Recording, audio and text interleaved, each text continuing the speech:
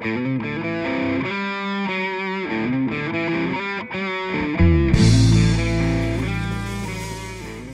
el cual estamos llevando a cabo la sesión preparatoria del Parlamento de la Comuna con vista al Plan de Inversión Comunal 2013 por intermedio del Consejo Federal de Gobierno. Tal y cual como lo establece en el artículo 185 de nuestra Constitución Bolivariana de la República de Venezuela, donde por intermedio del Consejo Federal de Gobierno se realizan ciertas inversiones en los planes de, los consejos comunales, en este caso de la Comuna Sociedad de Aruba. Donde las comunidades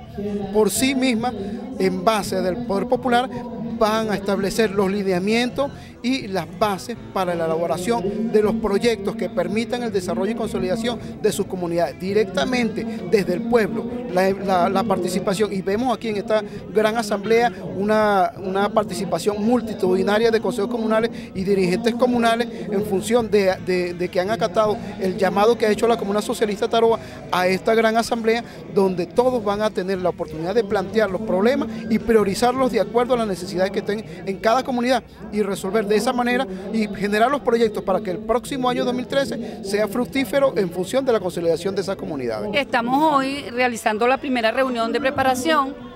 para este, darle eh, funcionar pues, y desarrollar el trabajo territorial que así exige el programa del PIC, reunidos aquí con la comunidad, con los diferentes grupos que, hacen vida dentro de nuestro sector, nuestro territorio eh, que en este caso nos toca defender el eh, territorio metropolitano eje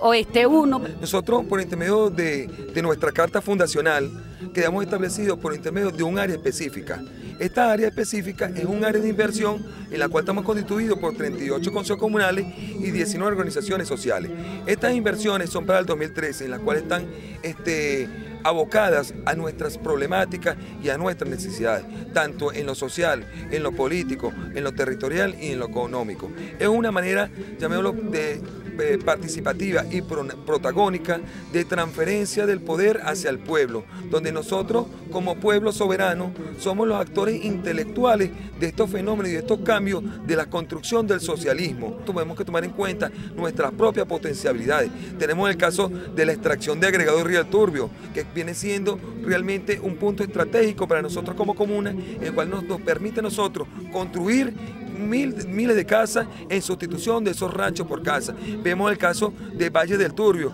cómo nosotros podemos tener una seguridad alimentaria a todo nuestro territorio, incluso más allá de nuestro territorio, por intermedio realmente de, de, esa economía socioproductiva que estamos nosotros perdiendo dentro del Valle del Turbio. Y así sucesivamente podemos ir abocándonos a diferentes ideas que nacerán por intermedio de ese compromiso de cada uno de, de lo que venimos empujando esta comuna.